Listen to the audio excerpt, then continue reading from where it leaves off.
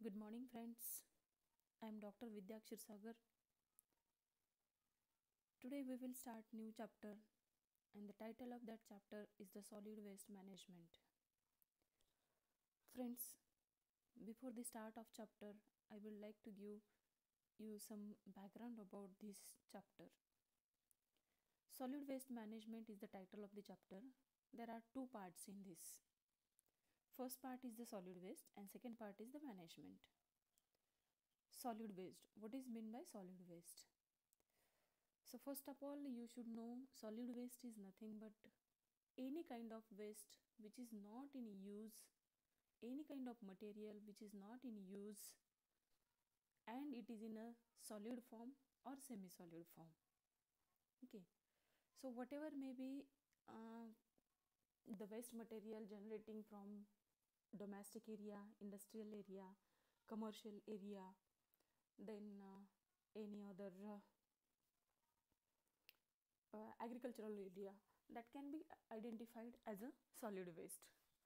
So this is the first part, solid waste, and then management part. Management part is also important. That is actually more important with respect to solid waste. We have studied until now about the water management, about the wastewater management, but solid management solid waste management is also equally important point, uh, point because huge amount of solid waste is getting generated from the society. India as a developing country generates around 0.3 to 0.6 kg per capita per day solid waste what i'm saying? 0.3 to 0.6 kg per capita per day. Per capita in the sense per person. You can just imagine the amount of solid waste getting generated from your town by multiplying the population of your town. That will be your total amount of solid waste getting generated per day. Then you can multiply by the 365 days. And then at the end of year how much amount of solid waste is getting generated? So huge heap of solid waste you may found aside your town. And for this purpose a huge amount of land will be consumed. Being a civil engineer you know the importance of land. This is the first thing. Second thing there is a problem with mm, solid waste material another problem with the solid waste material. Actually there are different types of solid waste. We are going to study in detail but as a part of background i am telling you. So basically it is there are two types of solid waste. One is the biodegradable waste and another is the non degradable waste. Biodegradable waste to which the waste which is getting decomposed by the microorganisms or the bacteria in presence of oxygen or absence of oxygen is known as the biodegradable solid waste. When the microorganisms decompose it converts reduces its volume and during decomposition they release the various gases like the ch4 co2 h2s etc and these gases will emit into the atmosphere and will create the air pollution. If you are not disposing it properly and just putting it on the heap of solid waste aside your town. Okay this is the first part. And second part is the non degradable waste. Under, under non degradable waste what comes?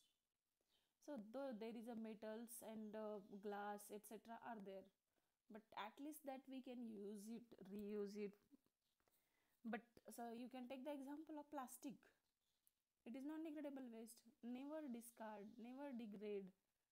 Thousands of years it will remain as it is in the on the earth surface. Such type of solid waste creates a problem for the disposal for the um, means it will remain for a longer period and meanwhile it will consume a lot of space on the earth which is not affordable. So that's why you need to go for the disposal of solid waste in a proper manner. So that's why the second part, the management, is also important. Now we will see the further part in detail.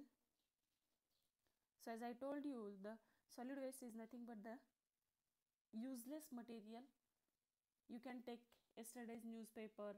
You can take the peels of the fruits non used part of the vegetables yesterday's food which we are not going to consume not usable clothes broken glass broken furniture mm, uh, non under not used the metals.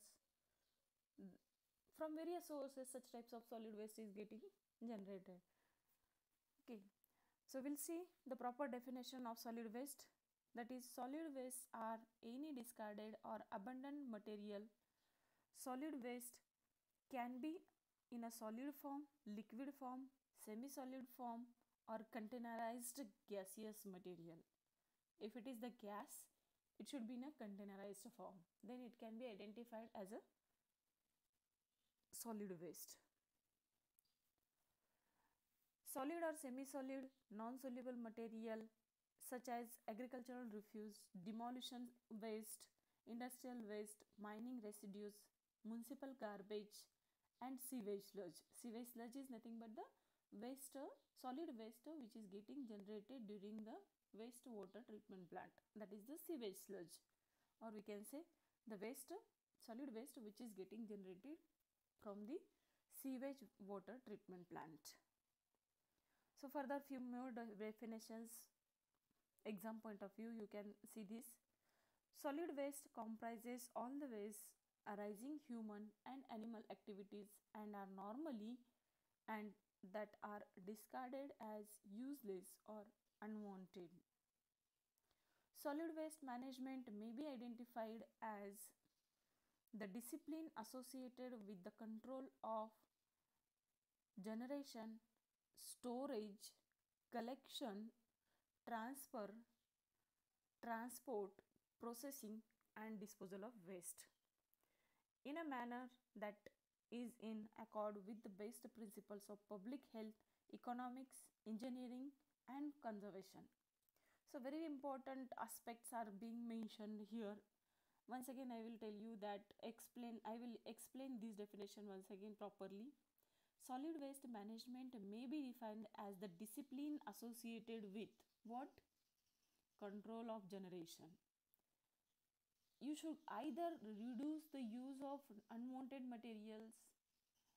You should think twice while wasting any plastic bag while wasting the papers while throwing it material as unused. So there will be a control of generation. Then the storage.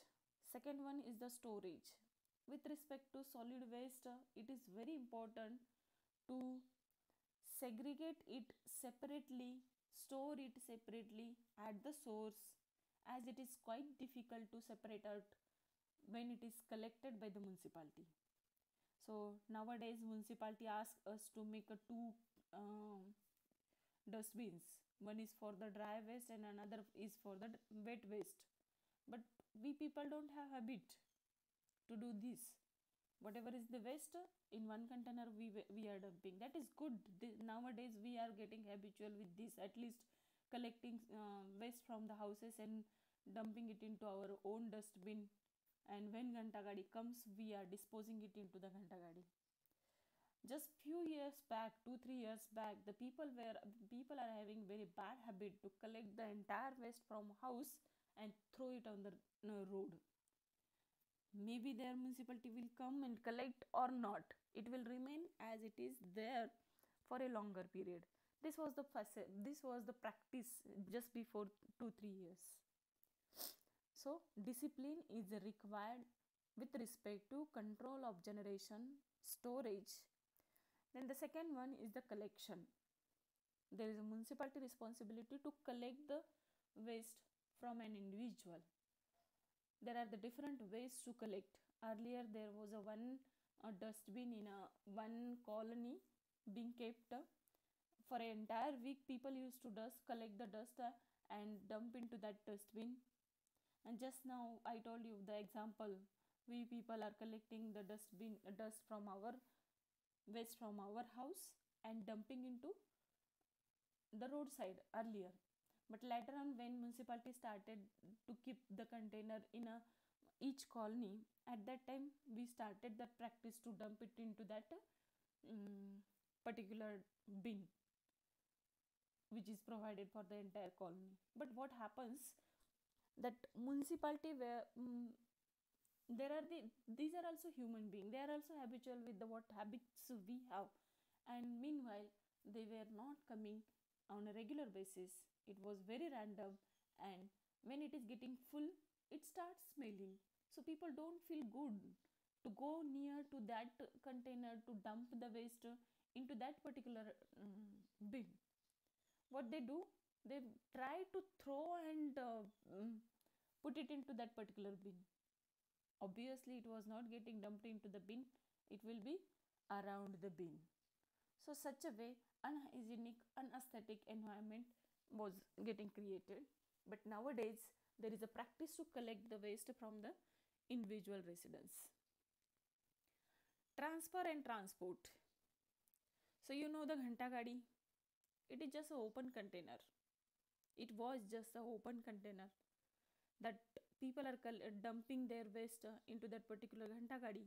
And that ghanta gadi used to travel from one side of this city to another side of the city while traveling from the particular city it was getting uh, spreading the um, smell or some if there is the growth of bacteria that that will also be a unhygienic uh, environment is being created during the transportation of solid waste. But nowadays there are these some um, closed conduit type of transportation system has been managed by the municipality for the transfer of the solid waste. Then processing and disposal of waste. Processing in the sense what kind of treatment has to be given for the solid waste. It depends upon the type of solid waste. As i told you if it is the biodegradable waste there will be a different treatment. If it is the non degradable waste there will be a different treatment. For biodegradable there is the um, decomposition composting landfilling such types of treatments are there. And for non biodegradable pyrolysis incineration such types of treatment processes are there. So that these these methods we are going to study in detail in the same chapter. But with respect to that processing comes under the treatment to be given to the waste. Then disposal of waste. After an entire treatment then it has to be disposed the way we have studied in a wastewater treatment plant. In a wastewater treatment plant what we did there was a treatment to the wastewater and after complete treatment we can dispose it into the nearby water body or on the land is it? So this way after the treatment to the solid waste we should think about the disposal if it is treated completely and it is a degradable waste then it can be converted into a manure and we can use as a fertilizer to the agricultural area. Is it? So that details we are going to study further. But i want to tell you in a solid waste management not only the municipality has to do their work we as an individual also contribute a lot to control the um, problems arising associating with respect to mismanagement of solid waste. Everyone's responsibility is there. Okay so we will see the next part that is the typical municipal solid waste generation. Just now I told you in a developing country, the rate of solid waste generation is in the range of 0.3 to 0.6 kg per capita per day. So let us see here the as per the size of town. In a small towns, it will be 100 gram per day, capita per day. In a medium towns, it will be 300 to 400 gram per capita per day and in a large town it will be in the range of 500 gram per capita per day and in general it is going to be vary in the range of 0.3 to 0.6 kg per capita per day so huge amount of in a metric ton solid waste is getting generated.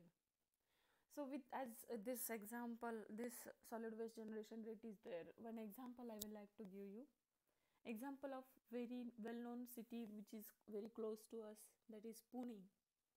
In my childhood means just uh, 20 years back or the uh, mm, 30 years back 20 years back we can say when i was visiting towards the pune there was one place that is ram tekdi very well known and very uh, nice uh, nature um, natural place where we can uh, nice nature was there where the people used to visit to enjoy the uh, nature. But nowadays it has been converted as a heap of the solid waste which is getting generated from the entire city of pune and very unhygienic environment is being observed in that area because there is a mismanagement with respect to solid waste. One should uh, always remember that for if the solid waste is not getting managed properly, there will be a requirement of huge requirement of